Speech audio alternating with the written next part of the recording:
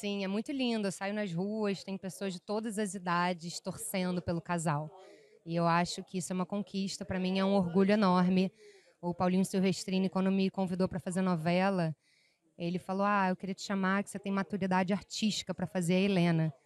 E aí, conhecendo a Helena, eu entendi o que ele quis dizer, porque ela é uma personagem com uma maturidade.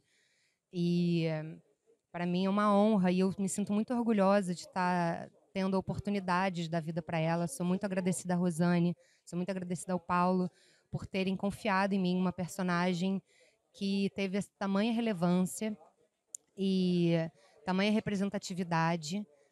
E foi uma curva ascendente muito linda. Eu não sabia qual era o tamanho da personagem. A gente nunca sabe, né, o tamanho de personagem em novela, porque é uma obra aberta.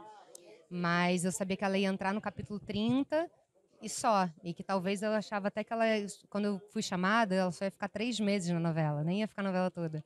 Só que a personagem aconteceu e fluiu e foi essa curva ascendente maravilhosa. Eu acho que a gente construiu, desde a preparação, a gente quis colocar muita delicadeza. E eu, por exemplo, quando fui construir a Helena, eu construí, tentei construir ela de uma maneira, eu acho que existem todos os tipos de pessoas que amam todos os tipos de pessoas. E a construção dela, eu tentei ir pegar o que é o preconceito e desconstruir o preconceito. Então, quando eu soube que ah, a Helena é lésbica, eu falei, qual é o preconceito da mulher lésbica? Uma mulher... E aí eu fui construindo ela o oposto. Tudo que eu achava que as pessoas poderiam ter de preconceito, eu fui é, desconstruindo isso. Pra, por isso que eu, eu, tentei construir ela com muita delicadeza, muita feminilidade. Falei, ah, esperam que uma mulher lésbica seja masculinizada, então vou fazer ela super feminina. Esperam que ela seja uma mulher.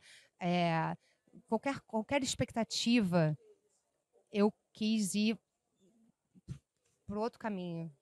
Transgredir as expectativas do preconceito. Sim, naturalizou. Naturalizou que é para ser sempre assim, né? É sempre ser natural um casal homoafetivo não é para ser é, considerado de uma maneira diferente, né? Por ser homossexual. E eu acho que eu acho que isso assim é um casal que é para ser visto de uma maneira natural, que se ama, que tem questões dentro é mais um elemento da relação. ela ia fazer uma ela ia fazer uma personagem na novela que eu estava escrevendo e aí a novela, o horário da novela que eu estava escrevendo foi cancelado o horário. Então eu conheci ela ali, então eu já admirava o trabalho dela.